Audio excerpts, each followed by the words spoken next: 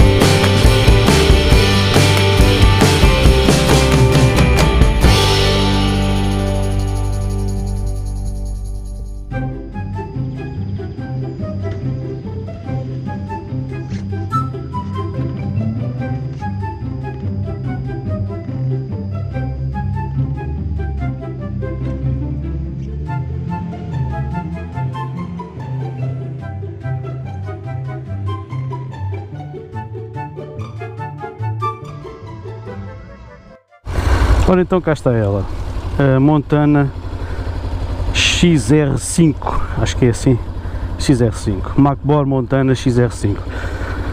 Ora bem, uh, o que é que nós temos aqui uh, proposto pela Macbor? Temos, uh, temos uma 500 com um motor muito parecido, há quem diga que é o mesmo, mas eu não sei se é, portanto não vou confirmar nem desmentir, mas é muito parecido com uma das concorrentes neste segmento dos 500 cm cúbicos. Portanto, temos aqui um motor de 471 cm cúbicos que debita, uh, que está no limite da, da, do, do que é permitido para ser conduzida com carta A2, ou seja, está na ordem dos 47, 48 cavalos. tal e qual como a, a concorrente que eu estava a referir. A construção do motor, o tipo de motor é precisamente igual. Este tem injeção eletrónica Bosch, ABS eu penso que também é da Bosch. Uh, epá, depois tem todas as tem algumas, das, algumas diferenças que eu acho que são uh, importantíssimas para esta moto concorrer neste segmento. Portanto, vamos nos situar. Uh, este segmento, para mim, na minha, no meu ponto de vista, é um dos que está em maior ascensão e é um dos que faz mais sentido neste momento para quem quer comprar uma moto para poder fazer um, um, ter um misto de utilização entre cidade, dar os passeios,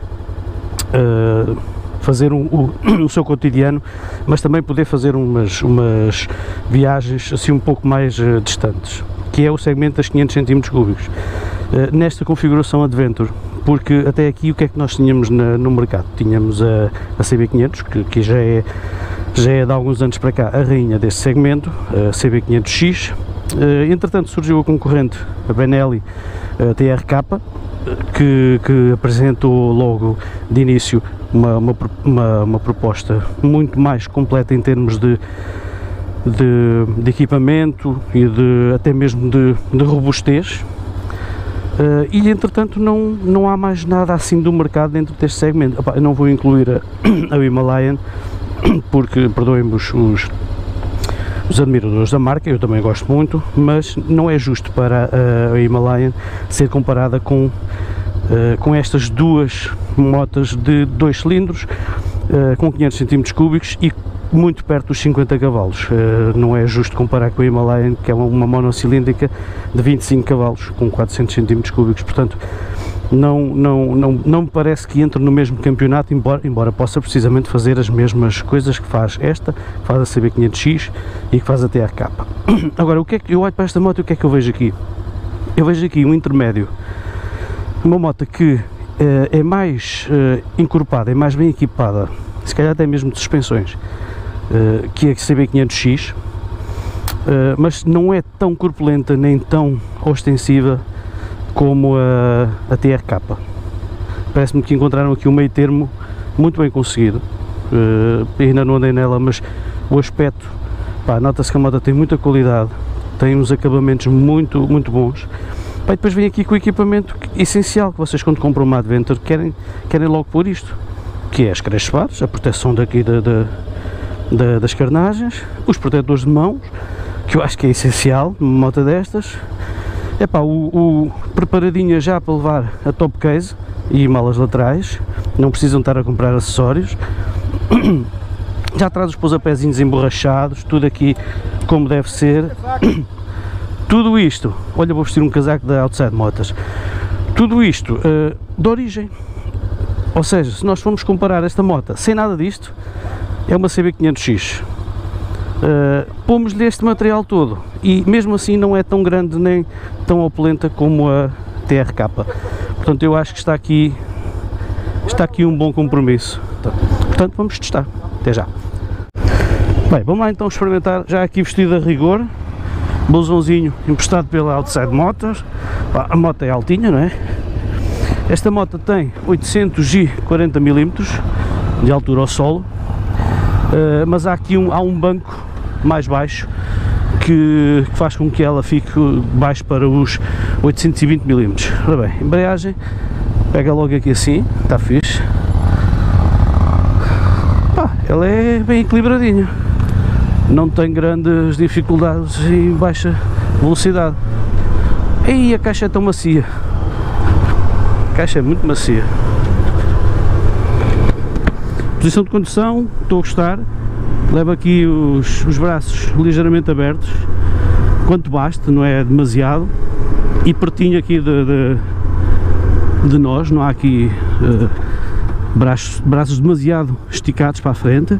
Aqui a posição das pernas também está natural, não, não estão recuadas nem, nem dobrados os joelhos. manobra-se muito bem, mesmo aqui em baixa velocidade. O motor é muito, muito soltinho, muito responsivo. Uh, Parece-me a mim um comportamento, um comportamento de motor muito parecido com o da CB500 nova. Sim senhor. Olha, não se pode passar. Primeiro teste dos baixinhos.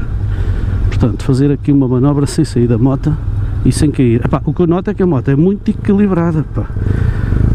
muito equilibradinha. O, distribuição de pesos, se é que me faço entender. Conduz-se bem em pé, repara. Tem um aspecto brutal. Pá, macia quanto baste, a frente é firme, a suspensão invertida faz aqui a diferença. Pá, conduz muito bem. Olha que bela proposta que aqui está. Epa. A embreagem pega logo aqui assim, quer dizer, estou em relação ao que eu estou habituado, pega um pouco mais mas isto é facílimo de, de, de controlar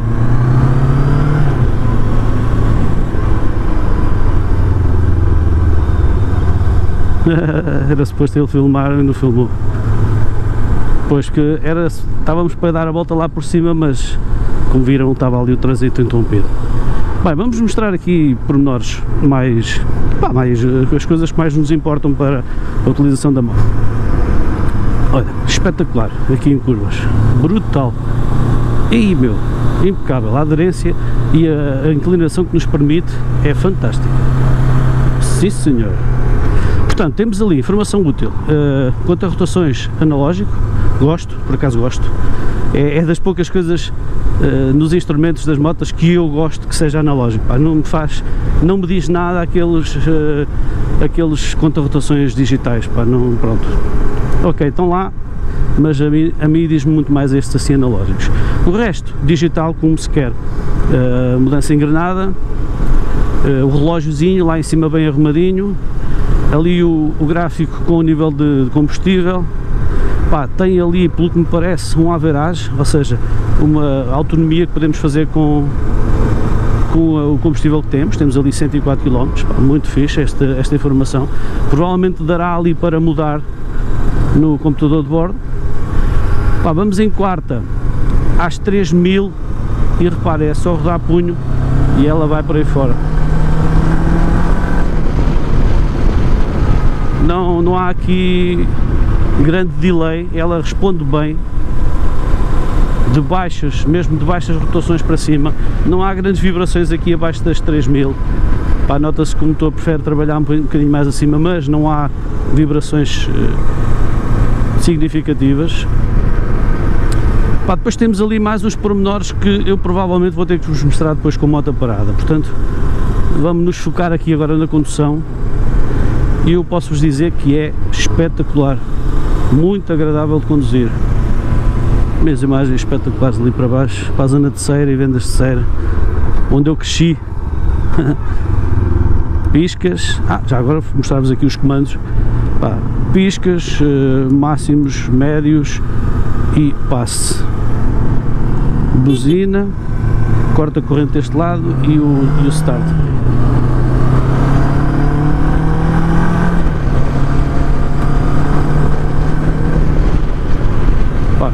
Muito fixe. Bem, esta, esta suspensão da frente copia-nos o terreno com uma, uma com rigor e com uma robustez pá, que eu acho que está muito fixe. Pá. Gosto muito, estou a gostar muito desta, do comportamento aqui da, do trem dianteiro. Passa-nos uma, uma confiança e uma estabilidade fantástica. A caixa é muito levezinha, pá, provavelmente terá também, não sei, mas terá também embreagem deslizante. Este vidro uh, dá para colocar em uma posição mais alta, penso eu, não sei se será a mais alta esta, mas através dali das ferramentas dá para pô-lo numa posição uh, mais alta ou mais baixa. Pá, aqui nas irregularidades sente-se um pouco uh, a frente, a frente passa-nos alguma algum feedback do, do, do, terreno, mas não é, uh, não é desagradável, ou seja, ela filtra bem as, as irregularidades, embora não nos deixe demasiado flutuantes. Passa a informação, porque é normal, são, são sulcos na estrada, é, é rijinha, pá, mas faz perfeitamente bem. Aqui nesta estrada até nos podemos pôr em pé, se nos pusermos em pé sentimos que o que passa para nós é perfeitamente suportável. Reparem como a frente vai tão certinha. A traseira acho um pouco mais molinha, mas não chega a ser uh, bamboleante, pelo menos ali nas curvas e contra curvas não me pareceu que a moto fosse uh, demasiado mole. Pá, muito equilibrada, eu quase parado e não tenho, não tenho aquela sensação de que a moto que vai tombar. Reparem, segunda abaixo das 2000 e ela aguentou-se. Passar aqui o Jerónimo. Muito bom.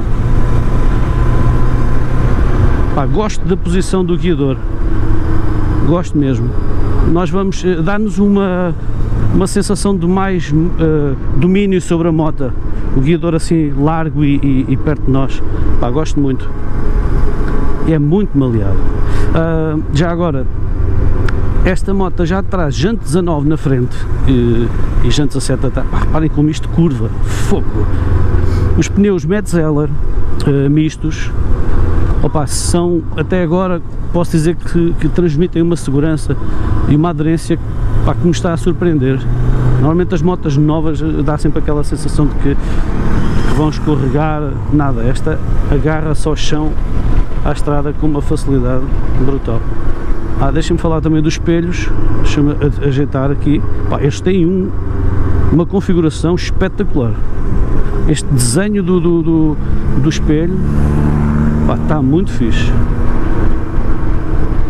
vê-se tudo, tudo, desde o que está atrás das nossas costas, como o ângulo lá, lá mais aberto, vê-se tudo perfeitamente. A estrada molhada aqui. Para ver aqui estas vistas, vamos em quarta, abaixo das 3000. Pá, eu, o motor não bate, embora se note que ele não vai confortável, não bate. Pá, muito, muito fixe. Epá, estou a gostar muito da, da, da ciclística desta moto. Uh, lembrar que esta moto tem 178 kg a seco, ou seja, temos aqui praticamente o peso que tem a, a CB500X a seco, mas sem, sem ferros e sem nada. Portanto, nós temos o, o, esta moto com o depósito cheio e, e fluidos no motor, epá, não vai chegar aos 200 kg não vai chegar aos 200 kg e já tem as crash bars, já tem os protetores de mão, já tem o suporte para a top case, tudo incluído. Pá, vocês pegam na, na concorrente, metem-lhe eh, essas coisas todas e ela já vai ultrapassar os 200 kg, largamente, porque tudo isso são extras que vocês vão pôr em cima do peso que a moto já tem. A TRK, já nem, já nem falo porque a TRK como vem, vem quase com 230 kg, portanto é uma moto muito mais pesada.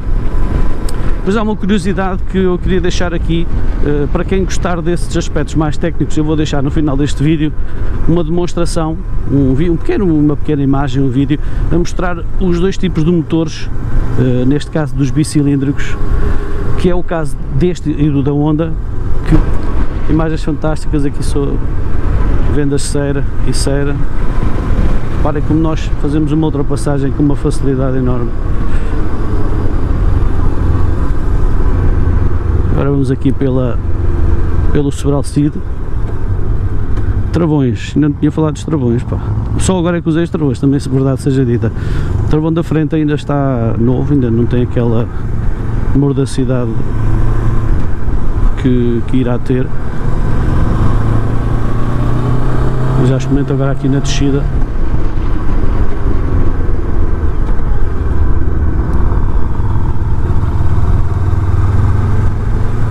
mas epá, dois discos à frente. E meu, podias ter dito que este aí que eu tinha feito a cena mais larga. Um bocadinho off-road apesar de que estes pneus não são para isso. Conduz-se muito bem em pé controla-se muito bem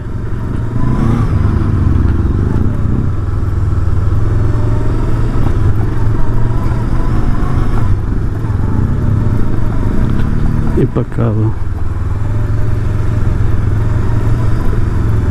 castelo.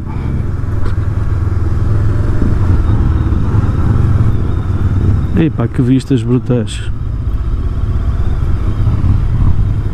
Que vistas fantásticas. Um gajo está aqui para falar da moto, pá, mas estas vistas são fantásticas. Pá, como veem, off-road impecável. Vocês entram numa estradinha de terra que não estejam a contar, pá, e esta, esta MacBoard não vos vai deixar ficar mal. Pá, ela filtra isto com uma facilidade. Eu vou em primeira, não sei se deveria pôr segunda, por aí vocês veem a minha experiência com off-road, que é quase nula. Costumava fazer off-road era de bicicleta, nos meus tempos de escola. Íamos para os pinhais de bicicleta. Pá, cabo tem aqui os, os, o protetor de cárter, que me parece que já fez aqui a função dele, porque eu estava a ouvir aqui uns pelins e dá-me ideia que isso eram aquelas aquelas cenas de madeira a bater por baixo no protetor de aqueles paus a baterem no protetor, pareceu-me. Portanto eles estão a fazer o, o, trabalho dele ele está a fazer o trabalho dele. Pá, os travões, vou experimentar os travões travão de trás, travão da frente. Ah, sim, fixe. Experimentar aqui. O ABS uh, da roda traseira acionou. Oh, os travões estão novos ainda, pronto, isto não é, não posso, não posso fazer uma avaliação dos travões da moto, pá, a moto tem 9 km, os discos ainda estão com aquela, com aquela camadazinha de, de parece verniz, ainda não estão gastos, ainda não tem, ah, mas já duas ou três travagens e já se nota a diferença. pá, conduz muito bem. Sinceramente é daquelas motas que, que se fazia uma viagem, opa, que se fazia uma viagem perfeitamente confortável. Eu espero que ele saiba se isto dá para passar por aqui ou não. Ali embaixo.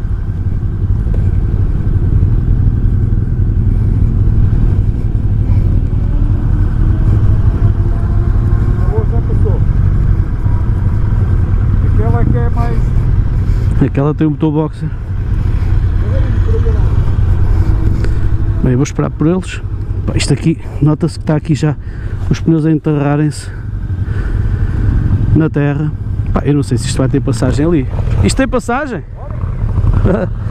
Será que tem? Tem a roda atolada, a roda de trás. Ah está, já saiu. Bem, prefiro fazer isto em pé. Houve-se ali o tlim-tlim, são as cenas a baterem na, na proteção do cárter. Bem, meus amigos, atenção que se eu fosse fazer o test drive desta moto sozinho, eu nunca na vida vinha para estes caminhos, atenção. Eu estou a fazer isto, mas o dono da moto vai ali. Ou seja, o dono do stand vai ali.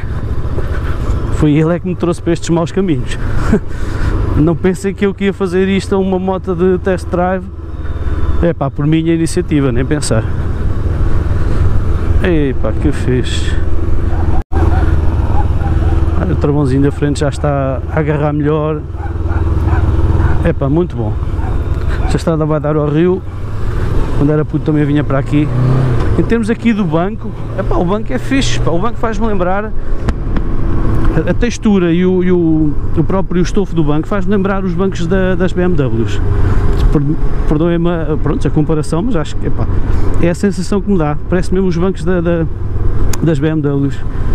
Tem aquela napazinha assim fininha, macia e, e, pá, e, e o estofo por baixo é, é, é compacto, mas acaba por ser macio. Bem, o test drive está a chegar ao fim, a ver se eu consigo ainda mostrar-vos aqui o mostrar-vos aqui o o painel mais ao pormenor. A moto mesmo em, em baixa velocidade controla-se muito bem e tem uma resposta, sim senhor muito bom gostei muito reparem aqui na, nas outras motas da gama Macbor Queres ver? Que agora aqui chegar ao fim é que eu vou baldear.